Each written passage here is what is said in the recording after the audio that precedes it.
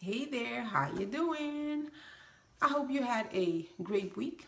I had a lovely weekend because I went to the North Sea Jazz Festival, my favorite festival. Good music and good food. Man, I had a great time. So I woke up feeling good, put on my green shirt. Green is my favorite color.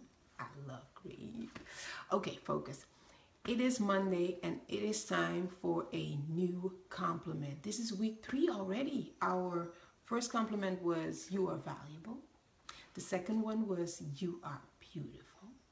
Now it is time to find out what number three is. Are you ready? I got the bag here. It is here. Let's do this.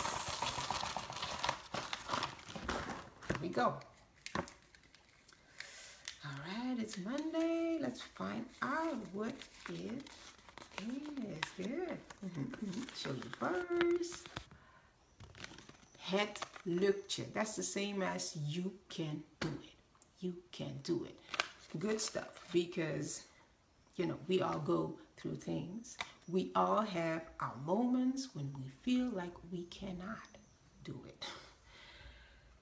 But it also reminds me of that beautiful uh, Nelson Mandela quote it always seems impossible until it's done.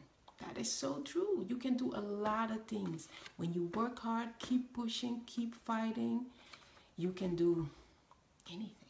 You can't do anything. So I am glad I picked this one. This is, it's also kind of a classic compliment too because this is a compliment we can use throughout our whole lives because these ups and downs will be here forever.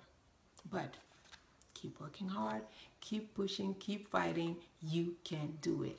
I am happy with this one. Are you happy? I am happy. This is our new compliment of the week. You can do it. I'm going to wish you a lovely week. Keep pushing, keep fighting, keep working hard, keep enjoying too. You can do it. I'm happy. I'm going to talk to you next Monday again. Goodbye.